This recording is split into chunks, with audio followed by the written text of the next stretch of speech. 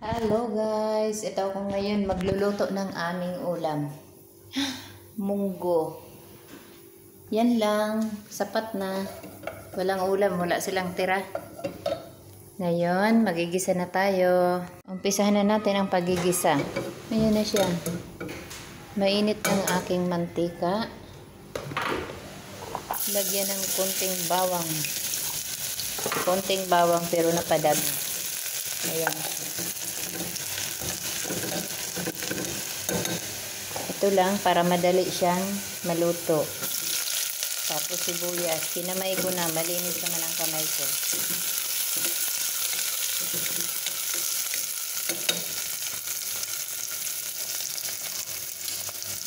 Saka itong ating kamatis na hiniwa na.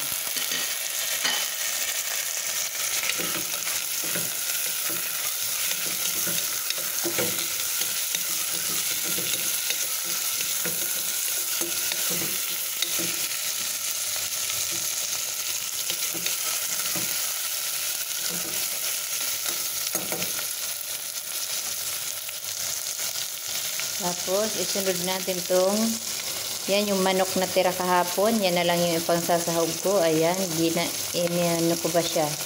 Niliit-liit para may, may pansahog lang sa munggo namin. Lagay ko na. Para may lasa kahit papano. May lasang manok.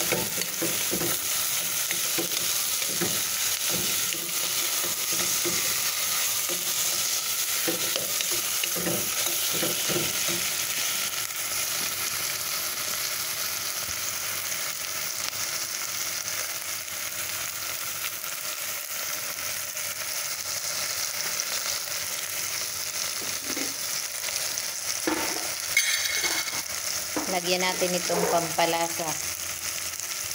Pampalasang nor cube.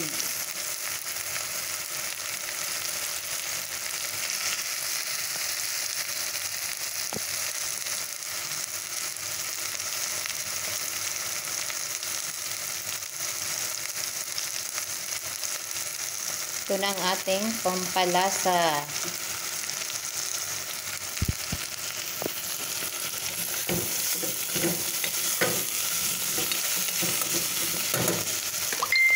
Ito namang munggo, binabad ko na yan siya kagabi. Ayan.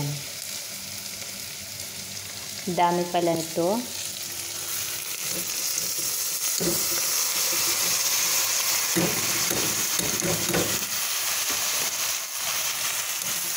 Ayan na ang ating munggo. Ayan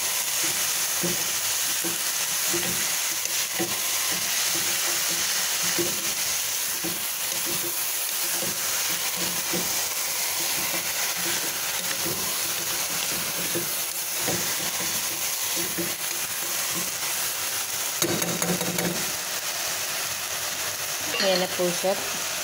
Nilakas-lakasan ko ng apoy kasi alas tres na pala ng hapon. Kakain na kami. Gutom na ang mga lola nyo. Eh, nakaready na ako mainit. Lagyan na natin ng mainit para kuluan na siya. Diba? Kulo agad siya. Kasi, yung mainit kong gamit, ay yung tubig kong gamit, dati na siyang mainit.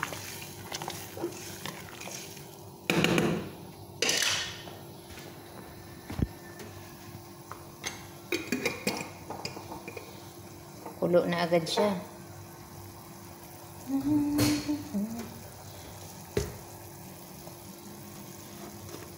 Ay, nako, ang likot ng aking camera. Konting asin. Lagyan natin ng konting asin.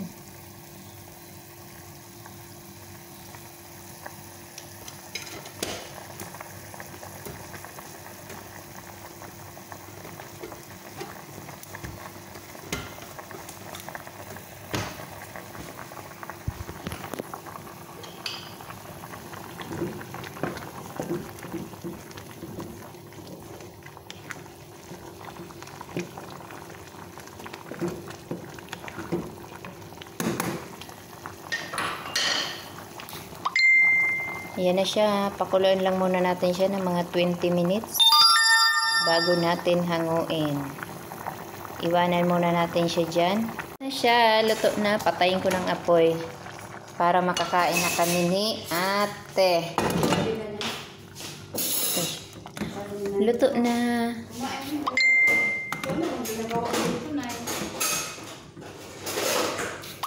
Ayan na, ayan na, ayan na. Mamaya hindi, tayo makapag ano, makapag cellphone habang nakain kasi may isang taong ayaw ng camera, yung aming taga-maneho.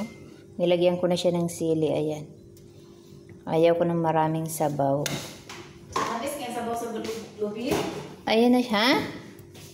Panis ng ano. Eto na siya. Charap! Ulam ng mga pobreng OFW dito sa Kuwait.